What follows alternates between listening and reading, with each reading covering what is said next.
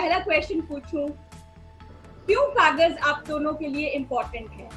देखिए मेरे लिए तो आ, ये इम्पोर्टेंट क्या दी इम्पोर्टेंट पिक्चर है। बिकॉज़ एक तो मैं काफ़ी वक्फे के बाद एज ए डायरेक्टर आ रहा हूँ। और दूसरा ये है कि मैंने जिस तरह का सिनेमा पहले किया था यू नो और मैं जिस तरह की फ़िल्में मैंने पहले बनाई थी यू नो उससे बहुत भिन्न पिक्चर है ये। मतलब उसका इसका जो रख रखाव है इसका जो वर्ल्ड है वो बहुत ही अलग है। और शायद ये वर्ल्ड जो है ये मेरे दिल के करीब और मेरे बहुत करीब है और मैंने अपने आप को इस पिक्चर में सही तरह से और सही मायने में पाया है। बहुत सारे लोग चाहते थे कि मुझे किसी फ़िल्म में लीड रोल निभाने का मौका मिलना चाहिए। मैं डिजर्व करता हूँ। मेरे चाहने वालों की बहुत चाहत थी और वो कागज़ के थ्रू पूरा हुआ है। सर जब आपके पास ये फ़िल्म आई तो आपको अपनी कितनी मेमोरीज थी इस इस रियल लाइफ स्टोरी के बारे में लाल बिहारी के बारे में? तो आपको पर्सनल लाइफ से क्या याद था इस स्टोरी मेरी भी 16 17 18 साल की जर्नी रही है बॉम्बे में कहा ये अपने को साबित करने की कि मैं एक्टर हूँ और वहाँ भी वही पहचान की लड़ाई है। सांस्कृतिक रूप से, भाषाई रूप से सामाजिक रूप से, भौगोलिक रूप से मैं उसी इलाके का हूँ। मैं खुद आजमगढ़ से सौ किलोमीटर आगे का हूँ। ये तहसील, लेखपाल सर्किल अफसर, वीडियो ब्लॉक ये सब में घूमा हुआ हूँ। सो तो दुनिया जानी पहचानी थी और लड़ाई भी ऑलमोस्ट सिमिलर से थी पहचान की लड़ाई तो मैं इसलिए भी बहुत रिलेट किया।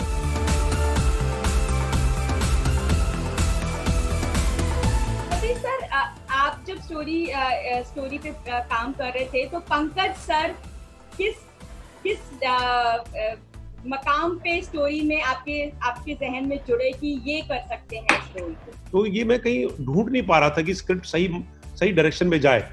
लेकिन 2017 में मैंने जब ये स्क्रिप्ट कंप्लीट की तो मैंने कहा, मेरे को ऐसा लगा कि सबसे अच्छी चीज़ जो स्क्रिप्ट के लिए हुई और सबसे उम्दा जो हुई, जो उम्दा काम हुआ, वो पंकज त्रिपाठी का आना हुआ। क्योंकि उसके आने से इस पिक्चर को स्वरूप मिल गया। एक एक दिशा मिल गई, एक डायरेक्शन मिल गई। मैं तो जूझ ही रहा था और मेरे को डायरेक्शन कुछ पता थी कि मैं ऐसे बनाऊँगा। लेकिन क्या होता है ना, जब आपका आपका मेन एक्टर जो आपका प्रोटैगनिस्ट होता है, वो सही मिल जाए ना तो आपको लगता है कि आपका आधा काम जो है वो हो गया। और स्क्रिप्ट की जो डेस्टिनी थी कि ये 18 साल बाद बननी थी 18 साल उस लाल बिहारी मृतक की भी लड़ाई थी और 18 साल मेरी भी लड़ाई है।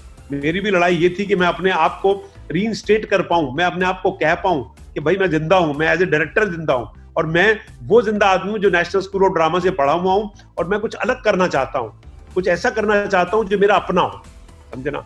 तो मेरे को लगता है कि ये ये पूरा जो, जो हुआ ये जर्नी जो हुई ये बहुत कमाल हुई और पंकज के आने से उसको गति बहुत ज़बरदस्त मिल गई। पंकज सर आपने बोला जैसे एक लीड आपको एक लीड का इंतज़ार था एक फ़िल्म का और इस ये फ़िल्म में you are the core of the film तो जब आपको पता चला कि आप ही प्ले करेंगे प्रोटैगनिस्ट तो कहीं रिस्पॉन्सिबिलिटी ज़्यादा बढ़ गई कंधों पे? वो तो छोटा रोल हो बड़ा रोल हो कोई भी काम करने जाते हैं तो ज़िम्मेदारी का एहसास तो होता ही है कि हम अपना बेस्ट करें ईमानदारी पूर्वक करें। सो so, इसमें कोई ज़िम्मेदारी नहीं बढ़ गई। बट यस मैं अवेयर था कि ये एक वैसा मौका है जिसमें uh, जिसमें uh, काफ़ी निगाहें रहेंगी लोग बात करेंगे। तो मेरे लिए वो मौका है जिसमें मुझे ज़्यादा मेहनत करनी है। जब वो रिस्क मिलता है तो थोड़ी ज़िम्मेदारी बढ़ ही जाती है थोड़ा आदमी जागरूक हो जाता है।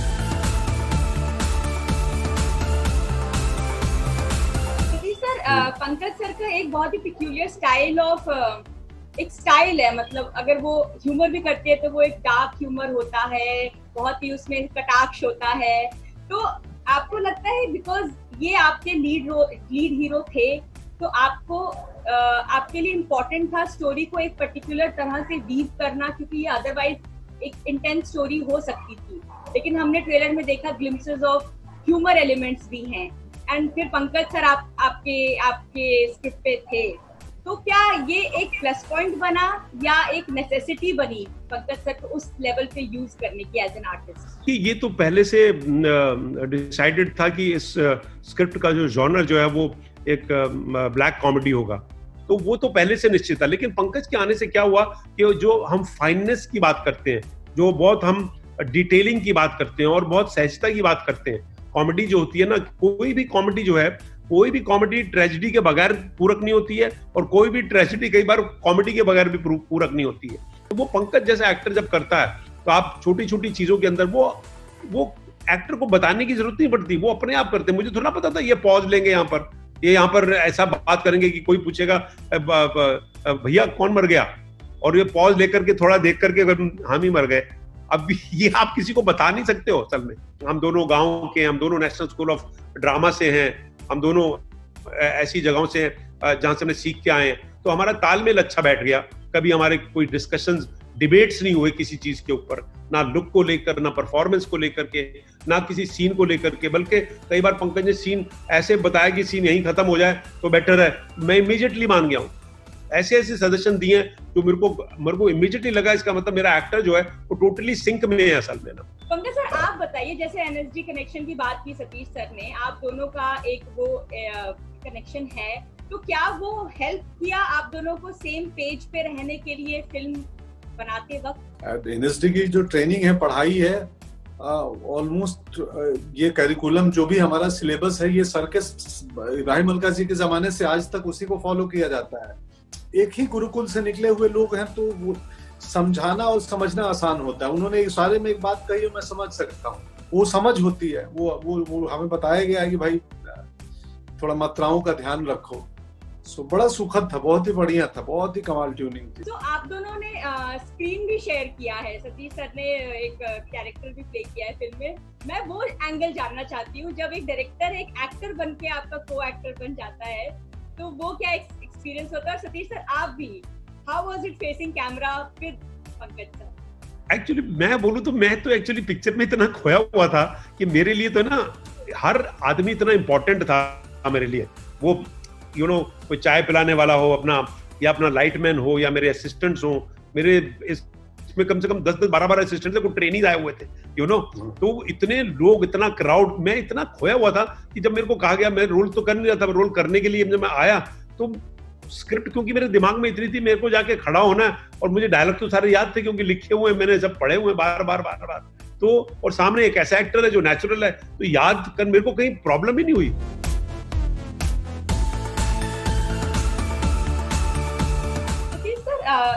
जब फ़िल्म बन रही थी ऑफ़ कोर्स 2020 का पैंडेमिक हुआ then Salman Khan came on board film के पूरे ओवरऑल पैकेजिंग में या उसकी प्रेजेंटेशन में क्या चेंज आया या आप, आपकी फ़िल्म कहाँ रेज की जब ये सब हुआ फ़िल्म के साथ? देखिए पंकज और हमने जब पिक्चर शुरू की थी ना जब पहली बार मैंने कहानी सुनाई तो हम एक छोटी सी पिक्चर सोच रहे थे कि यार इसके ऊपर लेकिन धीरे धीरे कुछ हमारे हमारी आकांक्षाएँ जो बढ़ती चली गई कुछ हमने खुद ही बढ़ा दी यू नो करते करते यू नो इसको ऐसे करते हैं बड़े बड़े सीन मतलब इसके अंदर पूरी विधानसभा का एक बहुत बड़ा एपिसोड है। यू नो फिर वो हम तो कुछ कर रहे कर रहे थे, लेकिन सलमान खान के आने से मतलब ऐसा हुआ कि उन्होंने जब कहानी सुनी और बड़ी पसंद आई और उन्होंने मुझसे पूछ लिया, क्या कर रहे हो स्क्रिप्ट का? क्योंकि माल्टा में हम लोग शूटिंग कर रहे थे भारत की।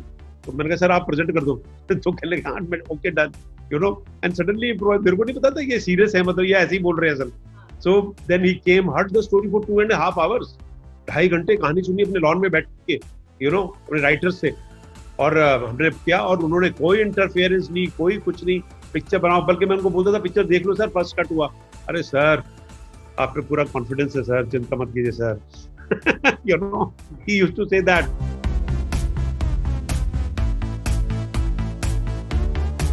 जाते जाते लास्ट लास्ट वर्ड्स ये फ़िल्म क्यों ऑडियंस को देखनी चाहिए? क्यों, क्या है इस फ़िल्म में खास जो ऑडियंस को यदि 2021 अच्छी बिगनिंग देगा। देखने के बाद लोगों को पता चलेगा क्या खास है इसलिए देखनी चाहिए कि इसमें क्या है। हमारी फ़िल्म है इसलिए देखनी चाहिए। सतीश सर ने डायरेक्ट किया है मैंने अभिनय किया है बहुत सारे नए टैलेंट हैं।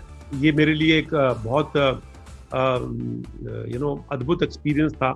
और इस एज में जहाँ आप सिक्सटी प्लस हो चुके हैं आप कुछ नया करने की कोशिश करें आप जद्दोजहद करें तो ये इसलिए भी देखनी चाहिए कि हम हम जो है एज कोई फैक्टर नहीं होता है असल में। क्रिएटिव पर्सन के लिए एज कोई फैक्टर नहीं होता कि जो मैं अपने जो मैं चाहता था कि सतीश कौशिक कुछ करे जो वो हो और मैं ग्रामीण क्षेत्र का रहने वाला एक ग्रामीण पिक्चर मतलब इसमें ये इसमें सबसे बड़ी खास बात है कि ये ये रियल इंडिया है इस पिक्चर के अंदर। मेरे लिए ये पिक्चर इसलिए देखे ताकि लोगों को पता चले कि you can achieve at any age चलो वाह वाह सर क्या बात है।